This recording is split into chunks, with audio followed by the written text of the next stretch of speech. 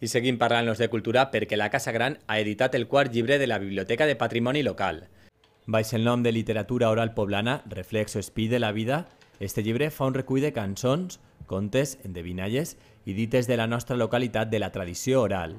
Es tracta d'una publicació participativa on els iaios li han contat als seus nets els records d'infantesa. Un llibre perquè no es perda la memòria oral. La presentació serà dijous que ve a les 7 de la vesprada a la Casa Gran.